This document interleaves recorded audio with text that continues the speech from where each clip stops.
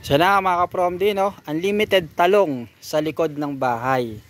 So ito pong talong po natin, organic po yan. No? So pinatabaan po natin ng ipot, ipot ng manok, tain ng uh, baka, ng kalabaw at mga kusot. No? Nagbulok po tayo ng mga kusot. So organic po siya. Hindi po natin siya ginamitan ng mga insecticides, ng mga pang-spray. Kaya yan, syempre hindi naman natin naasahan na talagang ganoon na ganoon kaganda ang kanyang uh, puno, ang kanyang mga bunga dahil nga yan po ay pure organic. So inaasahan natin na meron talagang mga bunga na hindi ganun kalaki, meron mga may uod. So normal po 'yon. Dahil ito pong ating uh, mga tanim po na talong ay organic nga po. Siyempre tayo po ay healthy living. So araw-araw no. Uh, yung bahay po namin dito, tapos yung bahay ng kapatid ko, dalawa, tapos yung bahay ng tita ko at ng mga kapitbahay. so ito po ay ano, marami-rami na pong uh, pinapakain ng talong. Galing po dito sa munting talongan dito po sa likod po ng bahay. So yan po ang kagandahan kapag po tayo ay may mga tanim, no? So, yan. so yung mga ganito po kalaki ay good na po ito, no? Pwede na po yung pitasin kung panggulay lang po. Pero pagka po pagka pangbenta yung mga ganito po ang ating pong uh, hinaharvest. Ito yan to. Yung mga ganitong kalaki yung mga ano yung mga pangbenta po yan. Saka itong isa yun yun mga pangbenta po yan.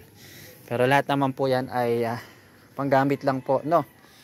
At marami-rami pa rin po siyang mga bulaklat at bata pa po itong ating uh, tanim na talong. So madami pa po tayong uh, ma-harvest na bunga po dito. So kahit araw-araw magulay, ayan, sawa na lahat na ng luto sa talong ay pwede po nating magawa po. So nasa ano po ito, nasa more or less sa 140 na puno po ito. Itong nakatanim po dito po sa likod ng bahay. At iwas na muna din po dahil meron po tayong plastic uh, mulching. Pero dahil tag-araw po ngayon, alaga po ito sa dilig. Dahil mainit po yan sa ating pananim yung plastic mulching. So pinapraktis natin maglagay ng plastic mulching kapag tag-ulan pa. Pero halimbawa ngayon magtatanim po tayo ng talong, hindi po tayo naglalagay dahil uh, matako po sa pungus yan, sa punjay at iba't ibang mga peste sa lupa at napakainit po sa halaman. Pero pagka tag-ulan dahil uh, madamo, naglalagay po tayo ng uh, mulching. Isa nga po dyan yung plastic mulching. Pero ngayon tag-araw po, dahil hindi naman po natin ganun ka problema ang mga damo, hindi po tayo naglalagay. Ito kasi nung tinanim po natin tagulan pa, naulan pa kaya nilagyan po natin. So ang kaganda, nakabelo na po siya at iwas na po siya sa uh, mga damo. O alaga lang po sa pagdidilig. So yung ganto pong forma, dahil organic nga po siya mga kapromdi, uh, good na po yan. No? Baga hindi natin kailangan uh, gamitan po ng iba't ibang mga pang spray dahil panggamit lang po naman natin yan, at syempre para mas healthy din po tayo. Yan, gumagamit po tayo ng mga iba't ibang mga insecticides din, mga fungicide, iba-ibang mga pamatay peste, mga insekto.